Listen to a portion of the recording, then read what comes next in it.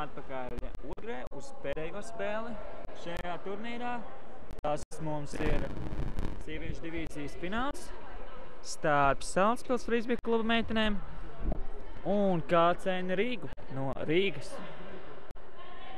Jā, šis solis uh, būtu interesants mačs. Abas komandas ļoti labi spēlē šodien. Rādīja ļoti labu sniegumu uzvarējuši šis spēles. Tā saprotu. Ja, abas komandas izcīnīja pirmās vietas savā apakšgrupā.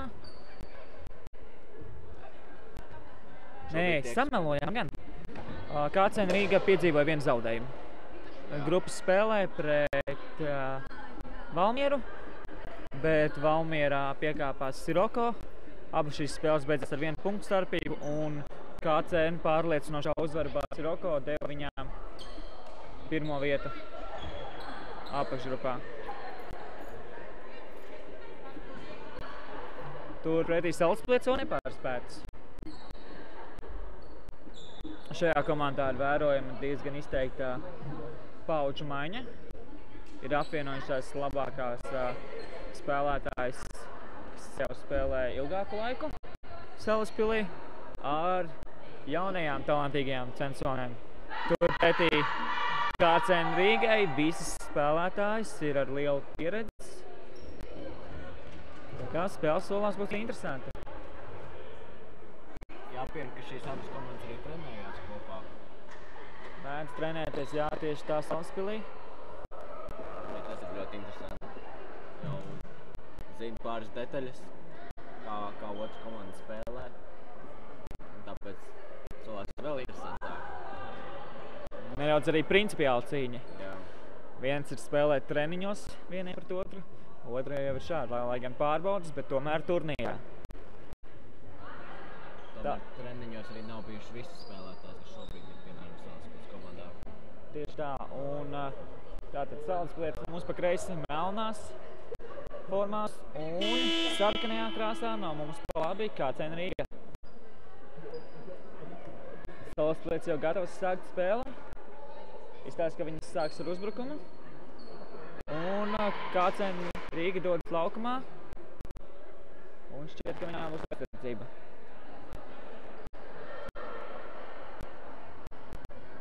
Nevienam spēlētājiem gan vēl risks nav redzams, bet šķiet, ka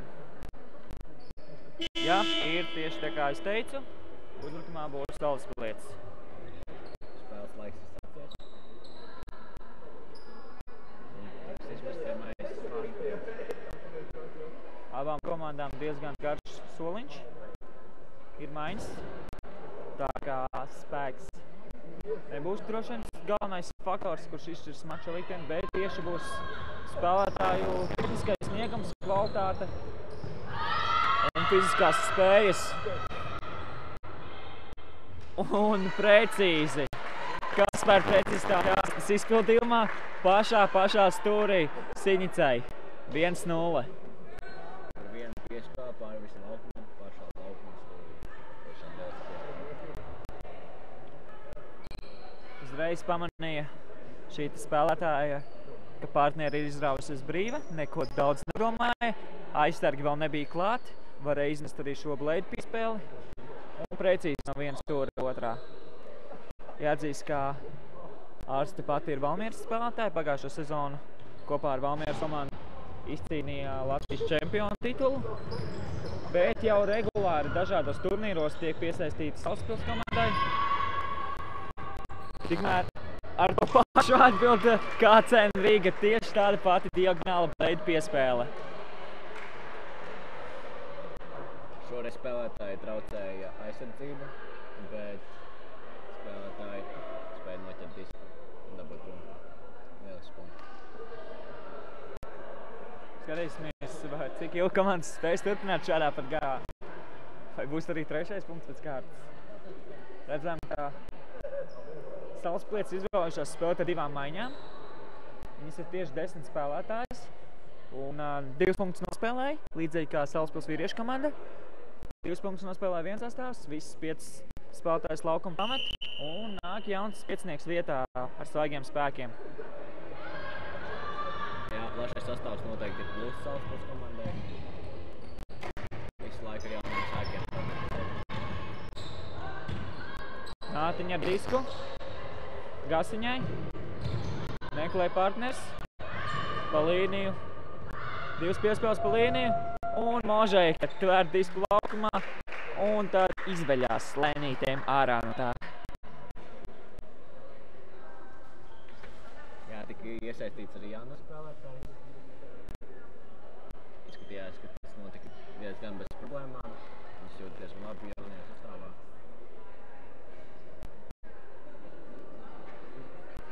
sastāvā. Redzam, ka visas jaunās spēlētājas nav salikts vienā maiņā. Šajā sastāvā konkrēti ir divas spēlētājas, Kasiņa un Maldra. Un viņu treneri kopā ar viņām Možeika. Bet Latiņina ir otrā pieciniekā. Kas es teiktu, ir nedaudz pieredzējušāks. Un nomināli es to sauktu par pirmo maiņu. Rušula ar disku. Atrod raudu laukumu vidū. Atspēlē Parhimukai. Piespēlē pa līniju. Matrozde. Rušula atkal. Pa līniju Parhimukai. Možēka cenšas traucēt. Tomēr nespēja. Atvainojās par nelielo kontaktu, ko izraisījusi. Un atzīst pretmetas pārākumu konkrētajā epizodē. Tagad gaidāms ļoti cīva cīņa. Punkts punktā. Pagaidām. Kļūdām. Jā, tieši tā, pareizi pieminēja. Neviena kļūda vēl nav bijusi nospēlēta četri punkti. Un reizi disks ir nomests zemē. Varam redzēt tieši, šeit parādās tas augstais frisbee līmenis. Kā zināms, jo augstāks līmenis, jo mazāk tās kļūdas. Nu, uzvar tieši nevis tā komanda, kas spēja būt fiziski spēcīgāka, ātrāka, atletiskāka, bet tā, kas drošāk noved šos te uzbrukums līdz galam, gūs simtprocentīgi punktu. Nedaudz sarežģīti piespēlu un kublīts, kas starp divām pētiniecēm tvēr disku. Latiņi nozog punktu arstei un atrod Ciņicu gūstot trešo punktu. Liels stēriens, kur viskas izpildījumā. Izskatījās, ka būs jau pirmā kļūda saucamība. Tieši kā mēs sākām slavēt komandas par veiksmīgo darbību, Arta nedaudz paspēlējās ar līdzjutēju skatītāju nerviem, iemetot šo disku cīņā, jo tā tiešām nebija veiksmīga piespēle. Drīzāk, manuprāt, šajā situācijā var izvēlēties skūberu piespēli, kas būtu ātrāk piezemējusies. Šajā gadījumā disks pārāk ilgstoši atradās gaisā, augstu, tā ka neviens spēlētāji to nespēja skart, un jau trīs spēlētājs bija gatavs par to cīnīties, ka tas nolaidies zemāk. Tikmēr uzņemā kācēnu, un lūk arī pirmā kļūda. Nesakmīgi piešāva pa līniju, tehnisks brāķis, nebija spiesta šī kļūda. Blade piespēle un izstījās, ka pēc neliela handbloka Neesmu droši, bet manuprāt, Taurens kā disku. Notiek diskusija, vai bija laukumā vai nē. Izstāsta, ka spēlētājs nav pašs pārliecināts. Un tā kā arī KCN Rīgas spēlētāji nav simtprocentīgi droši par šo autu, viņa to atcels. Un Kublītska Blade piespēle Siņicei. Jā, izskatījās, ka būs pirmā kļūda arī Salaspilī. Vēršvīgi nospēlēja Siņica. Noturēja disku laukuma robežās. Jā, ļoti veiksmīgs punkts viņai. Gan tuvu automatu ar disku, gan arī pēc tam zonā atbrīvojusies. Pilnīgi brīva. Rezultāts 4-2. Uh, KCN iespēja izlīdzināt. Uh, šo spēli līdz minimumam. Pārhimuka, komandas krēle. Un vai nosaukt sots? No šejienes neizskatījās, ka būtu sots, izskatījās, ka Tigna tīri dabūjis šo aizsardzību. Viņa arī atzīst, ka nav jutusi nekādu kontaktu un apstrīd šo sodu. Manuprāt, arī šeit vairāk bija nepārāk veiksmīga piespēle. Cik ā, tieši šī te kļūda, nu, pārkāpums.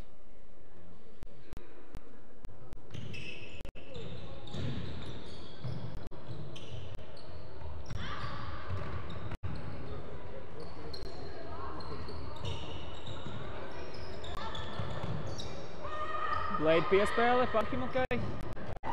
Un pilnīgi brīvs spēlētāji palikusi zona. Možaika jau puceļā saprata, ka nepaspēs un padevās. Jāuzteic labi piespēle, uzreiz kā notvērt disku, uzreiz raidīja to zonu. Pietiekami planējoši, lai uh, saņēmēji spētu aizskart pēc disku. Jā, bija ļoti labs tā saucamais taimings, kad spēlētāji raida piespēli īstajā brīdī un skrējējs ir īstajā brīdī šajā vietā. Spēlētājs veiksmīgi sapratās un guva vieglu punktu. Un kas par pārmetienu! Jau otro reizi. Jau otro reizi šodien tādu redzam. Kublītska meklē partneris. Skatās zonu, kamēr piespēle. Divas spēlētājas bija vīnas. Ārstos reiz saprat, ka neies iesaistīties cīņā ar uh, Sinicu.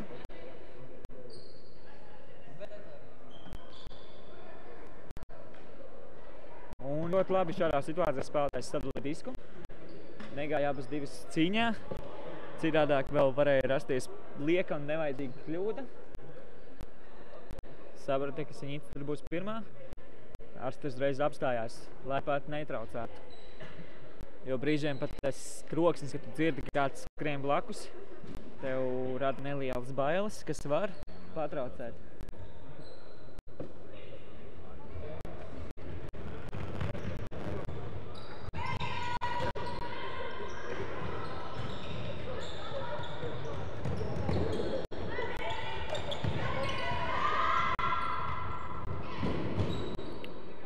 Mazliet par asa.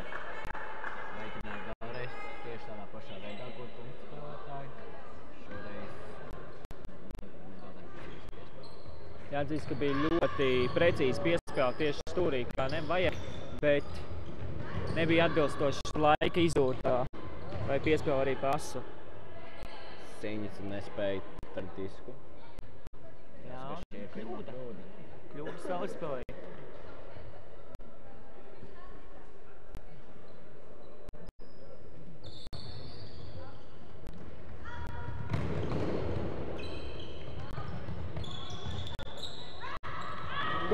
Kaspar piespēle tieši zem rokas.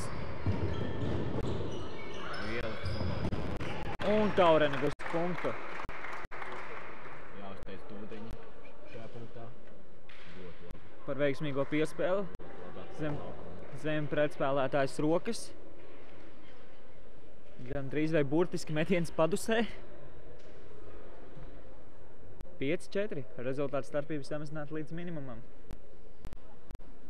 Skatīsimies, ko cen iespējas aizsardzībā. Vai viņas spēs izlīdzināt rezultātu? Vai arī salasplietas atkal atjaunos sev divu punktu pārsvaru? Gaidām pārmetienu. Tas arī tiek veikts. Veiksmīgs pārmetiens. nesaprašanās starp spēlētājām. Tā ir kļūda jau otrā salaspēlē. Otrā kļūda pēc kārtas. Nu, jau kā ceļš ir uh, iespēja izlīdzināt rezultātu. Pārhimuka, komandas Kreile. Gaidīja disku. Smala raupēja.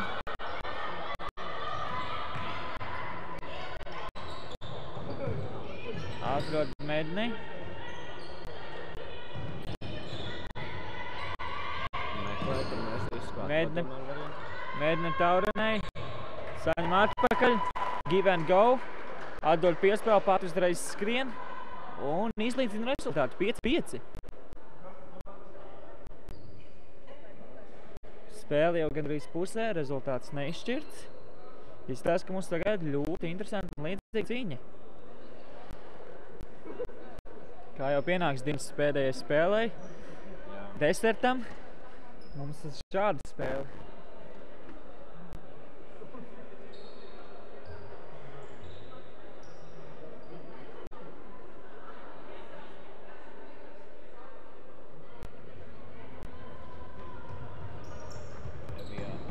saņem vārdiem, to publiskai.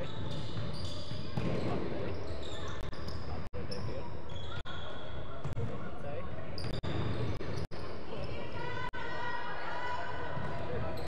Publicēja. Kubicka. Piespēle plīniju. Vēl viena. Blade piespēle. Diemžēl nespēja spēlēt diskusiju. Jā, mazliet par augstu šī piespēle, pārāk ilgi lidoja. Aizteks arī paspēja izteikties pats. Tieši tā. Trešā piespēle Pārtikas. Rūdiņa.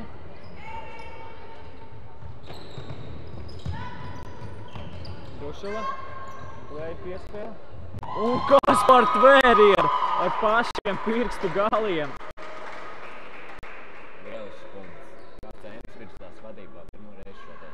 Es nezinu, kas te viņai par cimdiem rokās, bet noteikti strādā.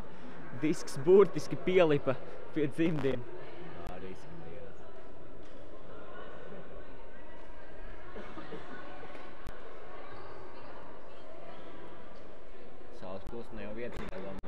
Jā, trīs punkti pēc kārtas KCN Rīgai. Lai gan bija iespēja pirms tam salas lietiem gūt uh, pārsvaru 6-3. Neizmantoja iespēju. Šobrīd ir ietinājums. Jau nedaudz miksēts sastāvs salas lietiem ilgāku laiku. Nav vairs izteikts maiņas. Siņits ar disku. Ārstei.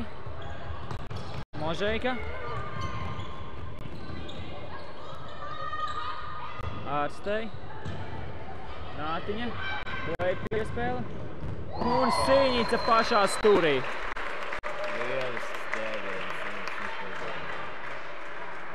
Izlīdzina rezultātu. Protams, publikai arī patika punkts. Tiešām ļoti skaists brīdis bijis. 6-6. Rezultāts jau atkal izlīdzināts. 10 minūtes līdz mača beigām.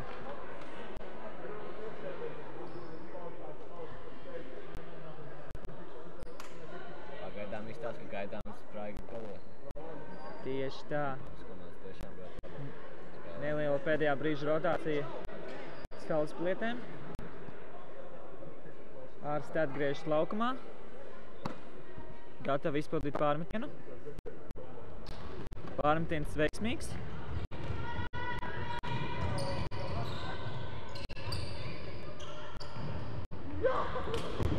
Un nebija ārste pārtver disku.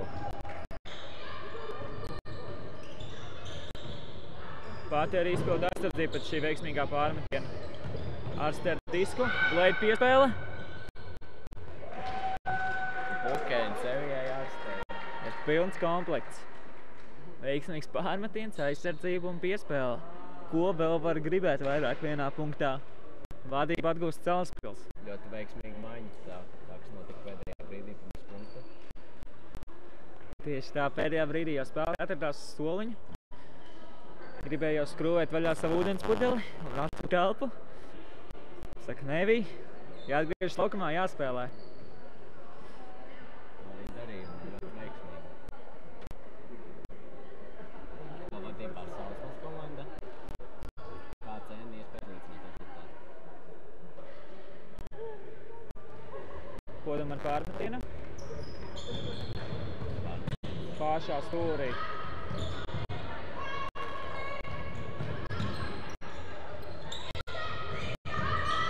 Kas par tvērienu?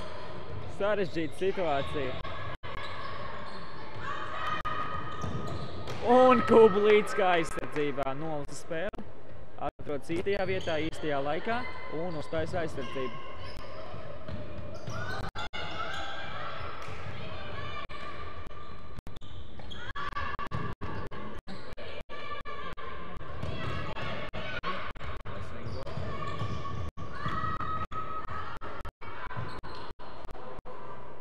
Stāsta, ka spēlētāji neredzēja gala līniju.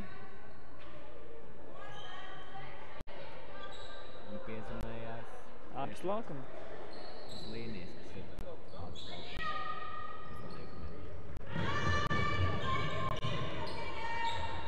Otrā iespēja kāds cenš šajā punktā.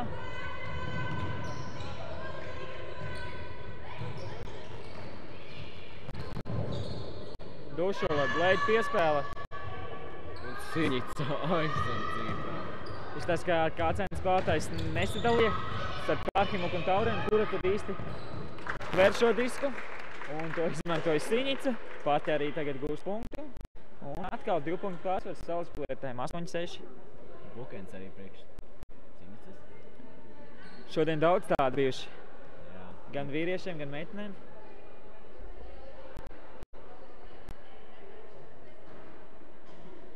Izskatās, ka spēlētājiem vairāk motivē nostrādāt labāk uzbrukumā pēc veiksmīgi nospēlētas aizsardzības.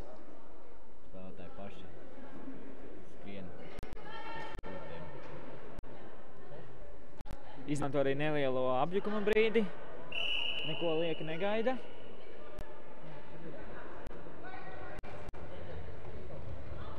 Jo atkal pārmetiens, redzam ilgu lido zonā. Arsti gan atvainojās par eh, šo neveiksmīgo pārmetienu it kā. Kaut gan tas bija manā aizskatījumā salīdzinoši labs. Diemžēl nepareizajā stūrī, bet ļoti labs pārmetiens. Spēlētājs saskrienās. Cīņas aizsardzība. Možeika. Palabošu tevi. Sajauta ap Santas.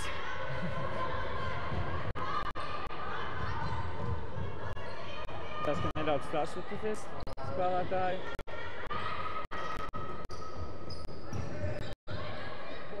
Pārhimuka, trešā piespēle. Un punkts kācēn Reigai. Tas, ka Možeika nedaudz satraumēsies, nespēja nospēlēt līdz galam aizsardzībā. Labs nedaudz pietrūka. Tikmēr Pārhimuka atkal parāda savas krēļa priekšrocības. Augumā ļoti gars spēlētāji. Lieliski izpild trešās piespēles. Un raida brīvai partnerei to zonā. 5 minūtes mums vēl atlikušas pēc spēles laika. 8-7 vadībās Salaspils frisbee kluba meitenes. Viena punktu iedzinējos KCN. Uzbrukums Salaspilietēm. Jau vairākas reizes esam redzējuši šo ļoti labo pārmetienu virs tribīnēm, kurš atnāk pēdējā brīdī atpakaļ laukumā. Manuprāt, viens no veiksmīgākiem šodien. Cīņķis tālā piespēle. Kubickai. Jā, jāatzīst, ka Vispirms spēlētājiem labāk ir iepriekšējās lomās, kad Kublītska piespēlē Siņicei, nevis otrādi. Tika nosaukts uh, pika pārkāpums, bet vai tas ir bijis pirms vai pēc metiena, vai tas ir ietekmējis šo iznākumu? Spēlētājs novienojas, ka nē, bija tehnisks brāķis piespēle par augstu, un ka šis pārkāpums neko nav mainījis. Pārkāpums bija laukuma vidusdaļā, un redzējām, ka skrējēji jau atradās zonā. Viņām šīs pārējās spēlētājas, kas būtu atradušās citās vietās, neko neietekmē. Tieši gribēju nesen minēt, ka skūvers sen nav redzēts, izgājis laikam ir no modas, jo pirms tam šīs meitenes diezgan bieži metušas, bet nē, tomēr vēl piekopja. Tikmēr kļūda ACN.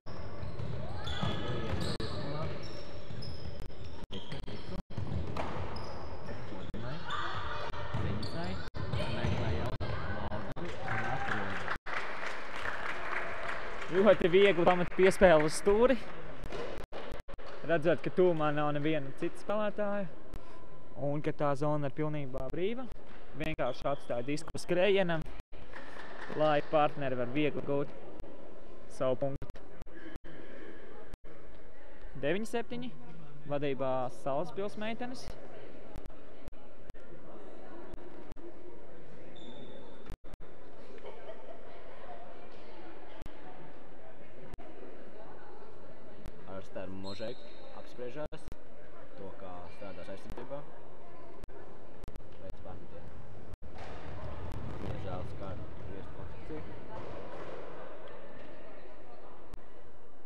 Iespējams nedaudz pārcentās spēlētāji. Redzēja, ka iepriekšējais pulss varēja būt labāks, nedaudz tālāk, uzmet augstāk un tā uzreiz bija kļūda.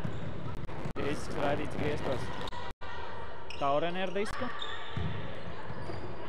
Dodiņai, Blēd piespēle. Un kas pār punktu? Lieliski piespēle. un Lielisks ķēriens.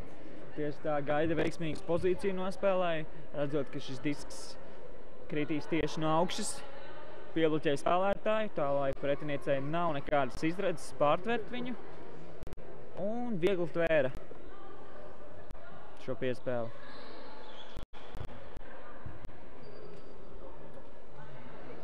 Laiks strauji iet uz beigām. Mazākā pusotra minūte atlikusi. Rezultāts 9-8, jau ar vienvadībā Salaspils.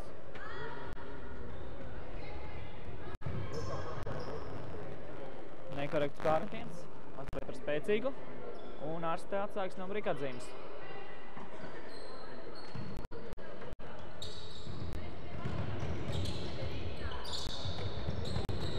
Ciņits ar disku. Maina malu podumai. Pamer piespēle. Un možēji, ka to nespēja tvert. Iespējams, šoreiz būtu labāk ķert ar vienu roku, kā spēlētāji ir pieradusi to darīt. Ļoti reti, kad ķer disku ar abām rokām. Mēģināju šoreiz, un tas neizdevās.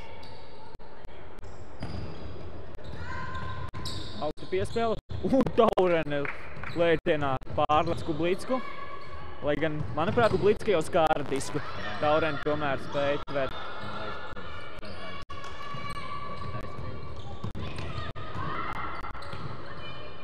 Laba divcīņa izveidojusies starp šīm divām spēlētājām. Un Kublītska aizsardzībā.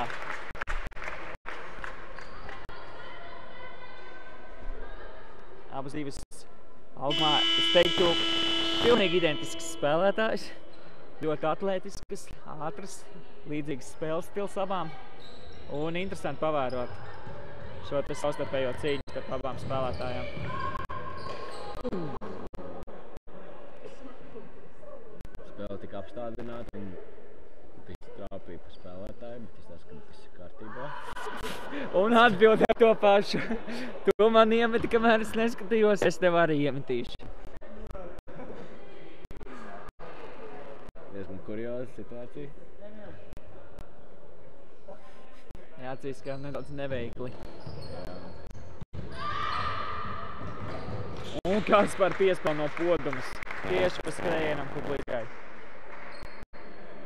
Tikmēr spēles laiks ir beidzies, bet tas neko neietekmē. Spēle būs līdz 11 punktiem. Tieši tā, tā kā laiks ir beidzies, mēs pieskaitām plus viens pie vadībā esošās komandas, kas šobrīd ir Salaspils ar 10-8, lai noteiktu šo te jauno punktu limitu, līdz kuram mēs spēlēsim. Un pie 10 pieskaitot viens, mēs iegūstam 11, kas arī ir šis jaunais limits. Tā kā KCN vēl ir visas iespējas atgūties. Esam redzējuši vairākus atspēlēšanās šodien. Arī no lielākiem pārsvariem nekā 3 punkti. Tieši tā. Dušuli ar disku. Pārhimukai.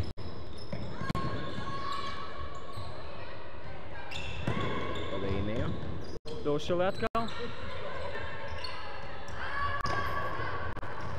Sarežģītā situācijā matros tvērdisku. Maina pusi. Ļoti pacietīgi spēlē. Šis kācien virknējums. Līdz šai piespēlē, kad Nātiņa aizsūta mājās dūdiņu. Ļoti labs handbloks. Ārste. Pieliek punktu šai spēlē. Kuglītska.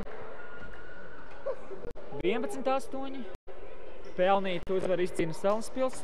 Ļoti Nepārs- pēdējā spēle. Tieši tā, nepārspēts visu turnīru garumā. Teicam, sniegumu demonstrēja. Jau uzteicis Kublītska, veiksmīgi strādāja gan uzbrukumā, piespēlējot, gan ķerot, gan arī aizsardzībā. Spēlētāji bija visur un zināmā mērā izšķīra šī mača likteni. Paldies, ka bijāt kopā ar mums. Es ceru, ka jums patika tik ļoti kā mums spēles bija tiešām labas. Un tad jau tiekamies ar jums Rīgas rudenī, 18. 19. novembris. Vislabu! Vislabu! Was walking with my feet 10 feet off a beam Walking in Memphis But do I really feel the way I feel? Saw the ghost of Elvis on you